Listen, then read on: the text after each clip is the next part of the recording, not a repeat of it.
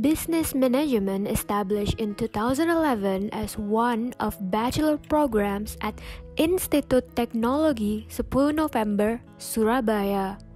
Business Management ITS is a unique management majors who combines management science with ITS identity as an engineering campus.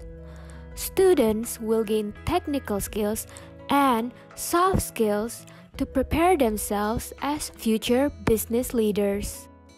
There are four major concentrations in business management of ITS, which are operation management and business analytics, marketing and entrepreneurship, human resource management, and also accounting and finance.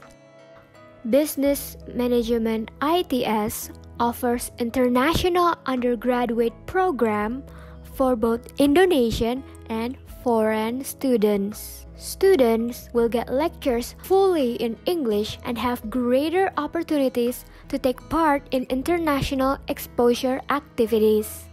Our department also offers double degree programs. These particular programs are held in collaboration with University of Queensland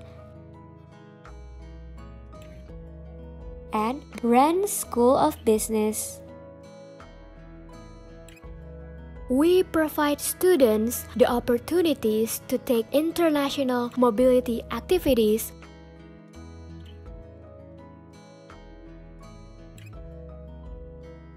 To support those activities, Business Management ITS have several international partners.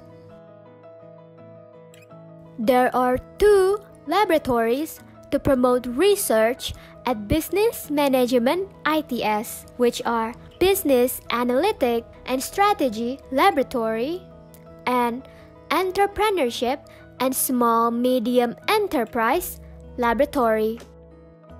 Business Analytics and Strategy Laboratory focuses on Entrepreneurship and Small Medium Enterprise Laboratory focuses on Our department have more than 500 alumni. They work at different fields and industries